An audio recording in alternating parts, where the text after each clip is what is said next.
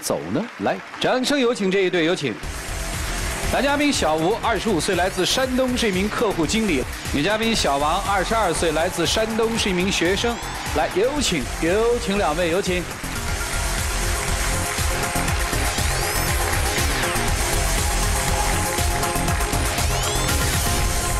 欢迎两位哈，异地有多久啊？哇，异地快半年了。快半年了啊！谈恋爱谈了多久啊？我俩在一起一年多了。哦，在一起一年多，其中半年还是异地，现在是个异地状态是吧？对对对咋认识的呀？我们俩是之前他是在济南上学嘛，啊然后我也是济南上学，啊在那个一个展会上认识，做活动认识的。哦嗯，然后当时我们两个是觉得共同语言比较多，嗯我觉得他还挺细心的，然后我们俩就在一块了。哦，后来他毕业了是吧？对对对，毕业了。呃，现在就异地了是吧？对，我觉得他现在跟以前相比差太多了，啊，也不关心我，我觉得他也不在乎我的感受。我也没有不关心你啊，我这不是刚开始去工作嘛，比较忙，然后就是说，是工作时间好像有有点多嘛。这个你怎么觉得在异地他忽视你了？就是平时我俩也见不着面嘛，嗯然后我就会给他打电话，或者是微信给他回消息，他都不回我，经常是这样。我也没有不回你啊，那不都是上班嘛？上班期间我不可能刚回你吧？你看我每次下班了之后，我不都看到你给我发消息了，然后都回了吗？那你下班之后，每次都十点、十二点的才给我回消息、打电话。那我在宿舍，你是说中午啊，还是夜里？晚上你什么工作呀？工作那么晚？也没有那么晚，就是平时啊有时候如果有客户了的话，需要陪一下客户，然后比较晚。平时的话就是六七点就下班了。你到底做什么的呀？客户经理。啊一个金融行业。好，你接着说啊。就我俩就寒假的时候嘛，就今年寒假的时候，我是去打工来着，嗯然后碰到一个比较难缠的女客户，然后就给我那个人身攻击。但是我作为一个店员吧，我又不能说给人家说什么，我就一直心里受气，比较憋屈。我就中午给他发微信，我说就在店里被一个女客户欺负了，想让他安慰安慰我。嗯结果中午的时候没给我回，下午四点的时候我下班嘛，也没收到他消息。我当时还就挺生气的，我感觉我都受欺负了，你也不说安慰安慰我或者打个电话。那天我也没有不回你消息嘛。那天正好公司里来了一个新的客户嘛，他什么都不懂，然后第一次来嘛，然后资料也没有带，然后我就一直在帮他处理嘛。不是，你告诉我后来你给人打电话没有？后后来是等了忙完之后下班了嘛，之后才给他打了电话。哦，他忙，你看忙完就确实给你打电话了。但当时他给我打电话，我觉得也，我当时气已经消了，哦然后我就没再给他说这件事情，啊他又还觉得我不是很搭理他。你说是你是气消了，但是你我看到你受委屈了，然后你又给我说一句没事了，直接就一带而过了，我还以为我又做错什么了呢。我觉得他就是我需要他在我身边，比如说给我安慰的时候他不在了，我剪个头发他倒是在了。就之前什么意思就之前那个前几个月的时候，我啊还是那个长头发，啊然后然后我就直接剪现在这个长度。他可能觉得短或者是不是很女生了，嗯就跟我说我不问问你的想法，或者是怎么怎么着，不尊重你的意见了，啊就嫌我这个。之前你就给我说一次要剪短的，你给我看发了照片，我看了一下，我主要是我觉得不怎么好看嘛。然后你之前你看你的大事小事吧，都会问我，经过我同意了嘛，然后咱俩权衡一下，然后你才去操嘛。然后这一次你就给我发了一下，我没有及时的回你，然后你自己就去了，而且我看到你剪完之后确实不比以前好看吗。嗯，嗯你倒真实在啊。我觉得现在也挺好看的呀。好看再说好看好看再说你不回我消息，我就一直全等着你嘛。啊，那你这不问我了？平时我在上班的时候，你这没事了就给我打电话打电话。我一上班时间我不可能光照顾你吧？行行行行，别别说了，这种事儿都过了，你就别说了，你这不就完了吗？这孩子真是，你们俩见面吗？我也见，就是也见，谁看谁？有的时候他看我，有的时候我看他，这个你们大概多久见一回面？一个月也就见两三次，哦，每周基本都见哎。也没有。有时候他也经常爽约呀。哦，还还有爽约。对啊那你们俩见面的时候好吗？有的时候他就工作嘛，就是经常有顾客会什么，你给我办个保险了，然后给我申请个代理之类的。经常我们俩逛着街，他就会接个电话，然后我就在一边，我也不能说什么，他工作嘛，我也不能打扰他，我就一直在旁边那么尴尬的站着。但我这客户打进来电话了，他需要了，然后给我打来电话了，我不能拒绝他吧？再说我也没打多长时间呀，就打了二三十分钟。二三十分钟就是够长了。再说了，我自己也没事干呀，我在那儿。啊。我也得尊重你的工作。也就是说，见面的时候他还在工作，他有爽过你的约吗？就有一次，我俩说好去欧乐堡玩，我们那边，然后他一直想去嘛，然后我特地托我同学帮我买的票，结果他周五下午突然跟我说周六要加班，就突然不能来了，就我当时感觉特别失望。这不周五下午了，公司领导临时决定要加班，这我也决定不了呀。那我问你啊，你去看他，他会不会爽你啊？就是我俩就算约好的时候，他也会说有工作。就有一次我去临沂找他，但是我平时周五下午会有课，我就下了课去找他，坐汽车四个半小时，就已经晚上了。你说你可以给我打个电话问问我，或者你到哪了，或者是你注意安全问题啊，都没有给我打。那我想那个他之前跟我说有饭局来着，但是我就顾及他们，我就自己到自己打车去找他。结果他竟没有给我喝醉了，就我还得照顾他，你知道吗？啊。我之前都跟你说了，我那天有饭局，那天正好是有客户嘛，大客户，然后和领导一起陪着去的。这我也不是，也没喝多少嘛，只是说有点迷糊了。然后等于你去又变成照顾他了，是吧？对，然后到第二天，我俩约好出去玩儿。嗯。结果到十点的时候，就突然接了领导电话。嗯。又说又要去公司。嗯。他们领导是多么讨厌的第三者哈。其实说到现在，我觉得没什么大冲突、大矛盾，啊，你们有以后的打算吗？你怎么打算我打算嘛，就是说，我现在我在临沂嘛，找个工作吧，发展的也可以嘛。我就说，他毕业了嘛，也可以去一起去临沂嘛。哦，你希望他到临沂去？对。啊，姑娘，你愿意去吗？我直接我跟他说，我不愿意去。我不去。不去，我就想留济南。我觉得我在济南上学待了两年，感觉特别好，就比较喜欢济南。那未来怎么办呢？你们就这么一直异地着吗？女生怎么想的？林毅，你肯定不去。我不去。你要求他去济南。对。回济南不？回济南的话，他反正是我，因为之前在济南干了嘛，然后发展的也不是这么理想嘛。啊。现在在临沂嘛，现在发展的还是比较可以的嘛。我就想着以后慢慢的，然后在临沂那边稳定了，确立了自己的人人脉了嘛，然后说再慢慢的往济南这边靠嘛。啊！但是我现在要的不是说他说的那些物质上的东西，我现在就想让你多关心关心我，在乎在乎我，就以后都可以说。但是现在这个状态我是坚持不下去。就是如果他要对你好一些的话，其实林一也不排除去，是吧？对呀，我俩也是可以的，但是你说你要是现在对我这样的话，那我觉得我去了也是没有必要去的。在你们一起的时候，没有异地的时候，这小子是不是特别暖？对他就是在我心中感觉挺暖的。对你特好。对。没变心吧？没有，我这不就是刚去了嘛，在那边发展的可以，领导也比较赏识嘛，我就工作比较忙嘛，然后就关心他了就有点少了就。哦，你喜欢他吗？喜欢。哎，如果在临沂工作和要你女朋友。就必须要去济南，你选一个，你选谁啊？就工作和女朋友选一个，你选谁？因为我想着现在嘛，不不，我们不因为啊，孩子，我们假设就是你要再不回济南，你女朋友就跑了，你是选择回济南还是留临沂啊？我想的是要要他，但是我想的话，我我想给他就是说给他一个好的未来嘛。不不不，你回答我的问题，他的好的未来就是你守在他身边，是吧？对。什么房啊，车呀，是吧？只要他在你身边，就是好未来，对不对？对。你你你回济南啊、刘林怡啊？但是我说，如果要没有回答我的问题，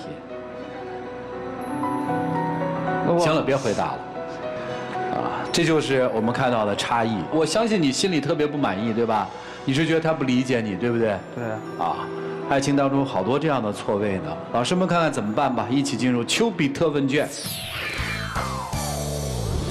这一对儿和上一对儿截然相反。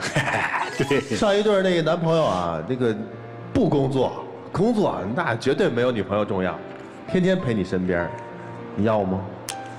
也不要太这样。你所以说让男人怎么办嘛？对呀，这不是难为死这小伙子吗？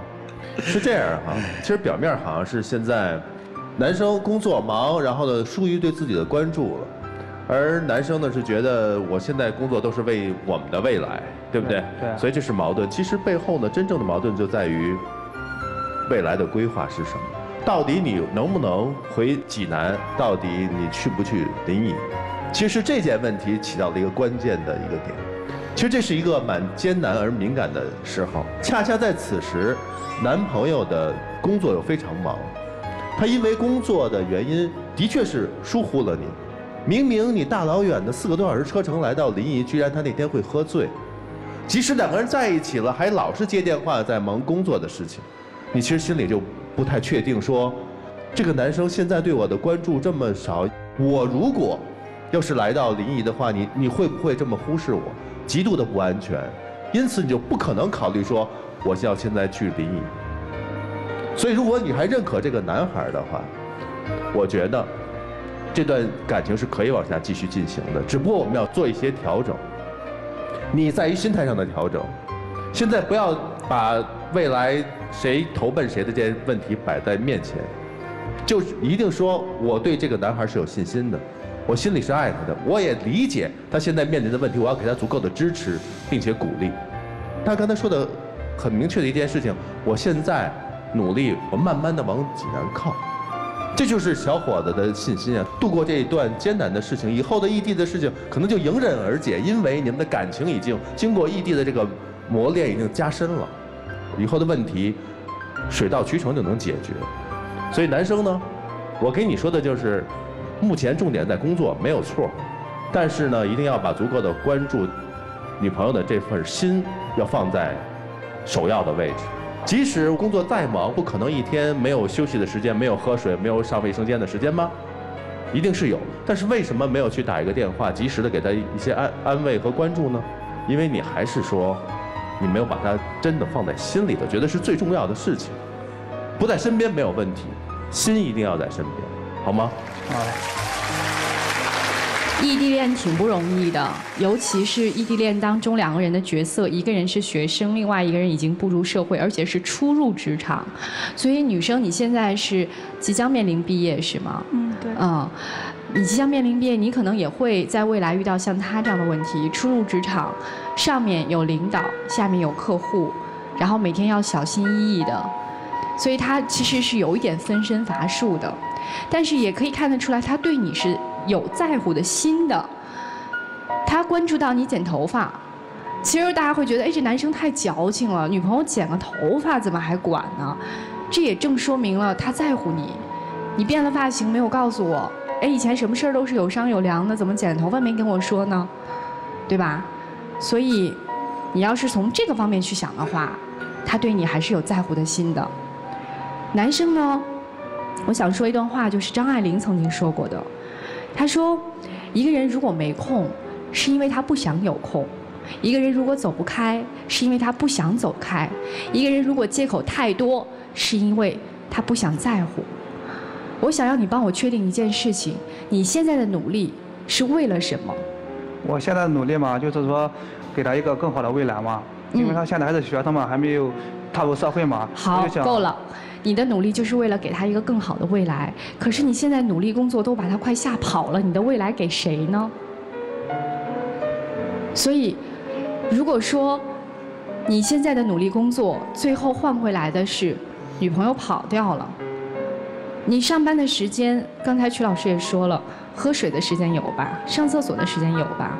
如果你真的在乎，你没有那么多的借口，你可能就趁上厕所的时候。就给他发一个信息，告诉他我会很忙，我大概忙到几点。这样的一句话，就可能让女生安全感倍增，心里是温暖的。她会知道我爱的男人，他在乎我，他在这么忙的时间之内都要告诉我，他今天很忙。那他会很安心的在济南等着你，或者说当你提出让他。陪你到临沂去工作的时候，他会毫不犹豫的跟你去，因为他知道你现在的努力是为了给他未来稳定的生活。明白了吗？明白了。好，谢谢。有些人人在心不在，有些人心在人不在。有些人人离你近，心却离你远；有些人人离你远，心却离你近。当女生说“我要你给我关怀”，但同时主持人又问你：“天天跟你腻在一起，怎么样？”但你又说那也不行。所以说，恰当的距离非常重要。亲密无间容易让人烦，咫尺天涯又太不现实。但怎么能够保持一个非常恰当的距离？我始终认为，好的恋人关系是有弹性的，彼此之间可以做出及时的调整。但如何实现这种有弹性的距离，需要具备三个条件。第一，有共同的目标。这个共同的目标决定着你这根弹簧，它最大的限度有多长，它不会崩断。第二，有足够的爱，这是把彼此拉近的动力。但同时又要有彼此的克制，而不让彼此离得太近。所以说，基于这三个条件，使得你们之间有一根爱的弹簧。这个弹簧可以适时的调整彼此的距离，烦了，彼此留点空间；远了，倍加思念，因为爱又能走到一起。但是这根弹簧其实有的时候非常难以把握，恰恰是在彼此的较量、彼此的试探过程当中，才能把它拉到一个非常合适的距离，不至于崩断，也不至于靠得太紧。你们正在彼此试验这根弹簧的各项性能的过程当中，所以还需要耐心。对于男生来说，他始终说我要给你一个更好的未来。其实有的时候，女人是不需要未来，至少不需要物质上的未来，她只要当下。而对于男人来说，哪个男人不是这样去想？希望能够给你一个好的工作生活。但是，恰恰是有的时候是一种这种想法，使得他淡忘了你的存在。所以说，希望你们能够找到一个非常恰当的彼此之间的距离，掌握好这根弹簧的好的性能，不至于崩断，也不至于靠得太紧。这需要你们自己内心的调节。记住那三个目标：目标、爱、彼此的克制，好吧？就这，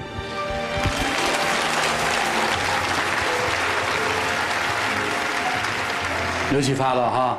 嗯。你知道怎么办了？知道。怎么办？尽量多出来抽烟嘛。你咋办？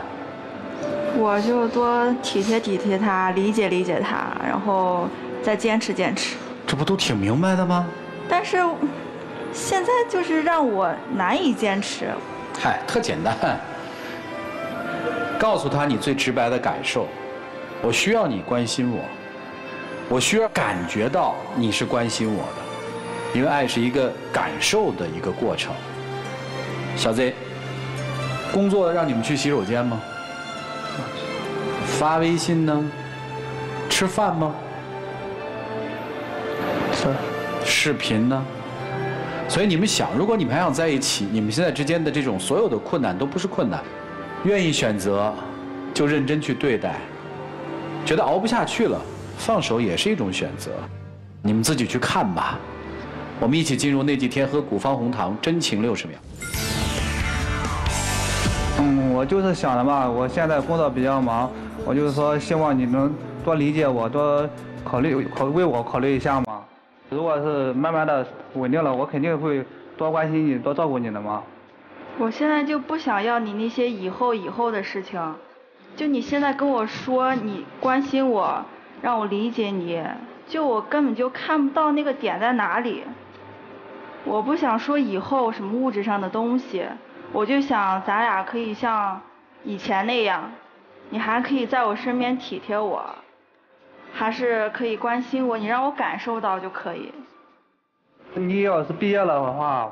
可以来临一会儿，这都可以解决嘛，直接就。那都是一些以后的事情，我就想现在你能明白，我就特想回到咱以前那种时光。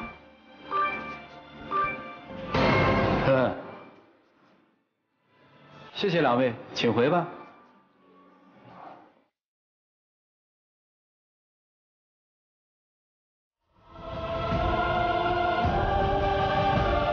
来，请关门，来看看他们自己的选择吧，请开门。